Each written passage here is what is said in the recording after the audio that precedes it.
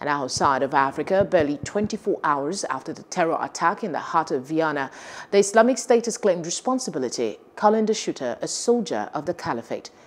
Austria's Interior Minister Karl Nehammer said the man who opened fire in central Vienna on Monday while armed has been identified as a 20-year-old Austrian citizen.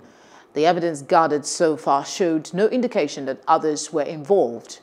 Four were killed while 22 people were injured in a terrorist attack that shook the Austrian capital on Monday. Hello, hope you enjoyed the news. Please do subscribe to our YouTube channel and don't forget to hit the notification button so you get notified about fresh news updates.